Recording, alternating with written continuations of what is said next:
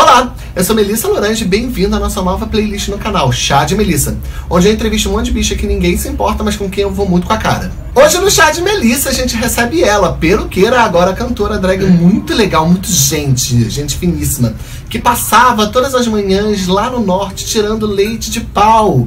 Ela mesma, meu grande crush, Kelly Caramelo. Olá!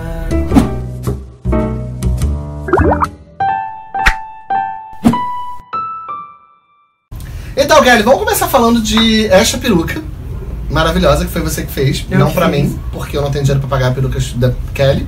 Mas pra Ian Chic, que tá ali atrás. Não, é mentira, essa peruca eu ia fazer pra mim.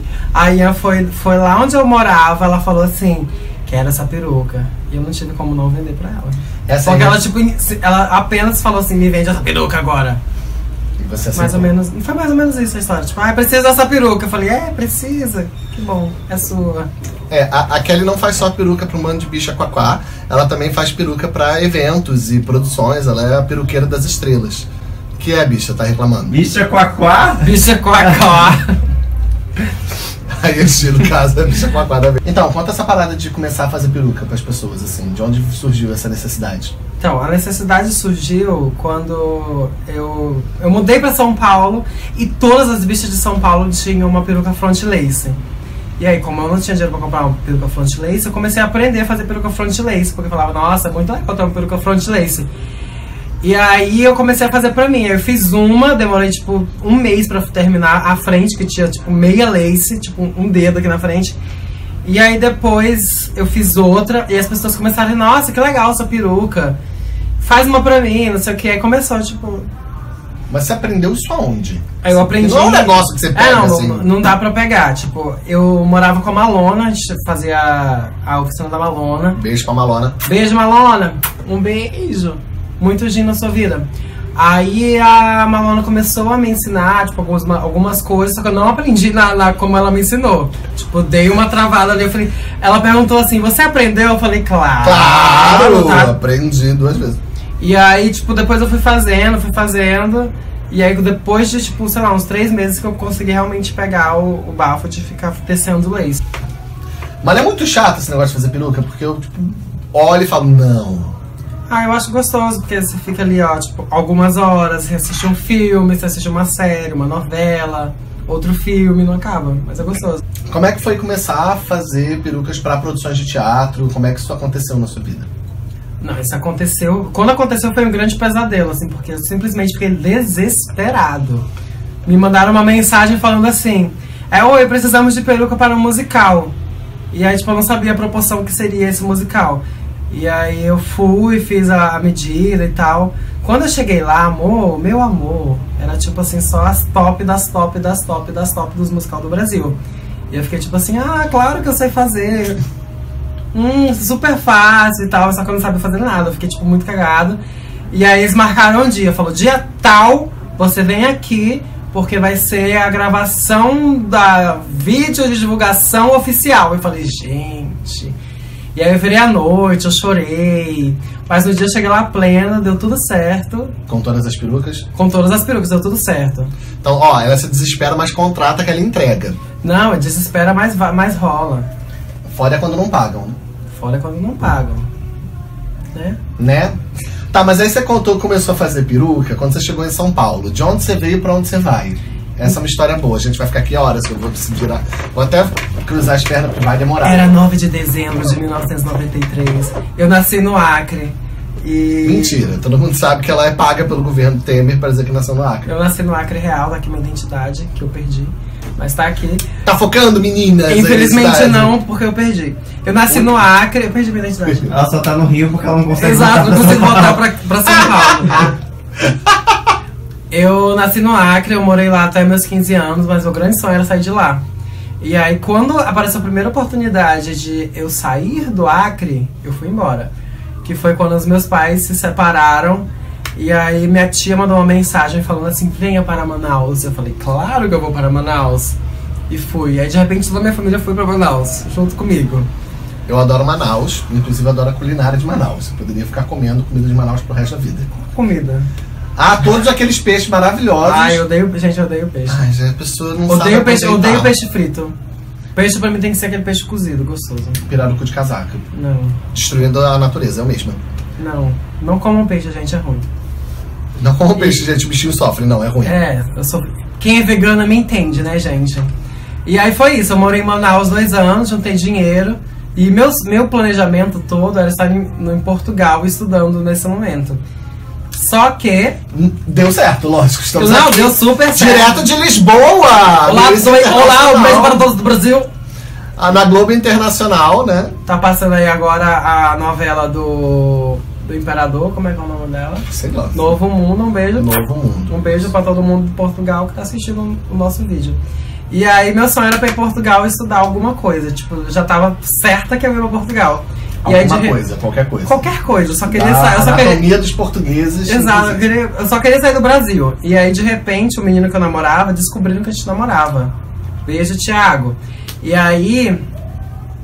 Ah, tentaram matar ele. Uma, coisa- uma... Ai, que legal! uma Ai, coisa- história leve. acho Calma, que- calma, calma, vai ficar bem. Vai, vai. Vai, ficar ótimo no final. E aí depois a gente foi pra Manaus. Pra Manaus não. Aí depois disso tudo a gente foi pra BH.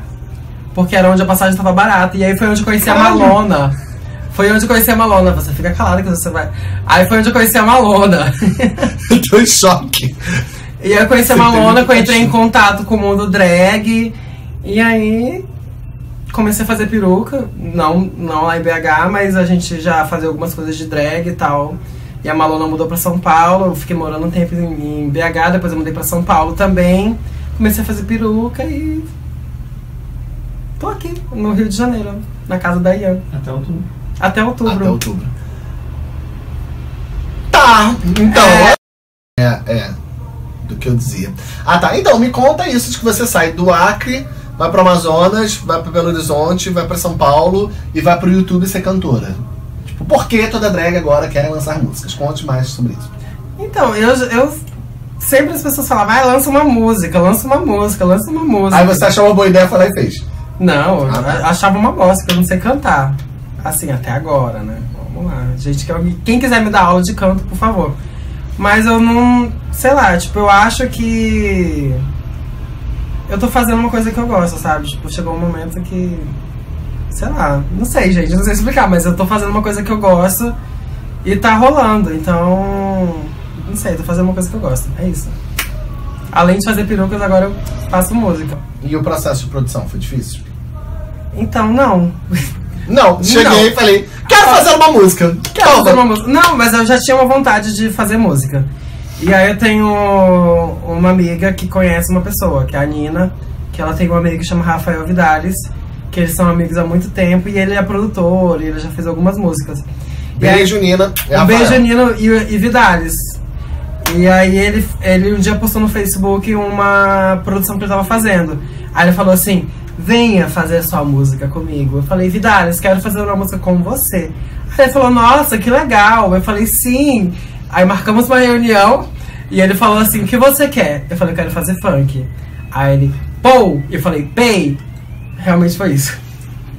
Eu Aí- vejo essa cena acontecendo, não conheço nem menino. a gente no Starbucks, aí ele falou, pô, eu falei, pay. Aí ele falou, é isso, vamos tal dia. E eu fui na casa dele, a gente escreveu algumas músicas, eu acho que quatro músicas assim, tipo, sem drogas, sem álcool, sem nada, a gente só escreveu. Pega os seus dedinhos e faça assim. com Faça, faça sim pras drogas. E aí foi isso. Aí a- essa que eu lancei agora, que é o Adoro Converter, a gente fez tipo muito rápido. É tipo, gente, aqui é a CIA. Foi pou, pou, pou, pou, pou. Aqui é assim, é ótimo. A gente trabalhou, tipo, sei lá, umas duas semanas nessa música e gravou clipe e tá rolando, gente. Então assistam pra converter. Assistam, adoro converter, vai estar aqui em algum lugar que ela vai colocar no Vou, vai? vou colocar no final do vídeo também, Tá bom. o link direto. o link direto. Agora, em Adoro Converter, você diz que adora converter heterossexuais. Conte suas histórias com heterossexuais. É uma coisa comum na sua vida, seu tipo? Eu não tenho chance, pois sou afeminada. Então, menina, eu, eu tenho um gosto muito peculiar. Eu realmente eu gosto de caras assim, com um cara que vai me bater. Então, se você tava chipando durante o vídeo, não vai acontecer. Não vai acontecer, gente. Mas se Eu vou você dar for na esse- cara dela de qualquer jeito, mas... Se você for esse cara que tá aí na, na encolha, manda um direct que a gente resolve. Onde eu moro, em São Paulo, tem um, uma coisa que chama Baixada do Glicério, que é onde eu moro. E lá só tem, tipo, esse tipo de boy. Você entra nos aplicativos, só tem os héteros discretos. Não tem nem, nenhuma foto de rosto, só tem corpo e braço e barriga. E quem tem fome tem pressa, né? Então, assim. E eu não passo fome, viu? E- E agora eu tô, tipo, muito focado nesse rolê de música, porque eu acho que é uma. Realmente eu, eu tô fazendo uma coisa que eu quero que dê certo, igual o rolê da peruca. E eu não vou deixar de fazer peruca, eu vou continuar fazendo as perucas.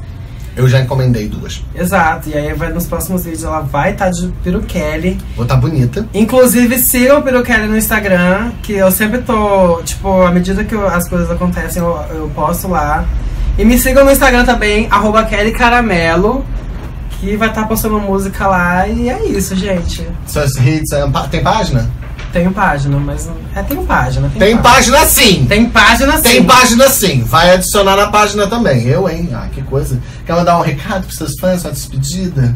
E, ah, acho que eu quero, o que eu quero falar é, gente, ah, façam o que vocês estão a fim de fazer. Não façam nada que as pessoas peçam pra você fazer. Não faça nada forçado. Porque quando você faz as coisas de verdade, as coisas acontecem. Ou você nasce com a bunda pra lua, que nem essa bicha. Não, bicha não nasce com a Ah, não, nasceu não, sim. Não. Ah, vou fazer peruca, sucesso absoluto. Vou fazer música, não- sucesso absoluto. não, não. Eu, eu engulo muita coisa, só que a grande parte das coisas que acontecem comigo eu, eu guardo pra mim. Tipo, as coisas boas e as coisas ruins também, tipo.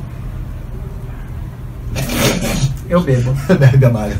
Bebe, que a gente já tá nessa situação. Querem seu chá hoje de quê? O meu chá hoje é de uma fruta chamada cachaça e guaraná. É um composto muito fino. As coisas boas e as coisas ruins a gente deixa pra gente. A gente só compartilha o que a gente quer que as pessoas saibam, mas. É isso. Vamos guardar as coisas pra gente e vamos compartilhar só o que as pessoas precisam saber. Ó, Kelly, foi um prazer estar aqui com você. Ah, Aliás, muito obrigada por aceitar essa, essa emergência. Eu cheguei aqui. Vou gravar com o Kelly. A Kelly falou, vai gravar comigo. vamos gravar comigo que eu tô É divulgando minha assim, música. então é isso. Vamos Sou divulgar. divulgadora. Isso mesmo, a divulgação está pesadíssima. Quando sair nova música, você me avisa que eu boto em todas as redes. Muita boa sorte pra você. É, muita disposição pra fazer as perucas pra mim, inclusive. Muito É sucesso nóis, na é música, nóis. porque a gente tem que ganhar dinheiro em algum momento Tem. dessa vida fazendo drag. Vamos dominar tudo, gata. É peruca, é música, é vídeo, é novela. Vai É ter suruba. drag em todo lugar. É isso É isso mesmo, isso mesmo. Com você no estúdio, Fátima. Gente, era só isso que ela queria dizer. A gente vai ficar por aqui. Um beijo e até a próxima. Não esqueça de o quê? E o quê? Dar o like, mana. E, o, e se inscrever no canal da minha mana. E no meu. Então se inscrevam nos nossos canais. Nossos canais são pra vocês. Eles estão ali limpinhos esperando por vocês. não, é sinistro. E antes de estar entrando no fundo. Mas tudo bem. Acabou o vídeo, pode falar agora. Pode falar Acabou? à vontade. Acabou.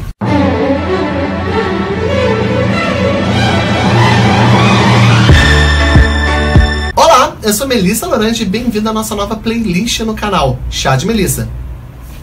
Não dá, é. de novo. De novo. Começamos bem, como vocês É, podem ver. começamos muito bem. E tá ótimo, que foi de primeira a gravação.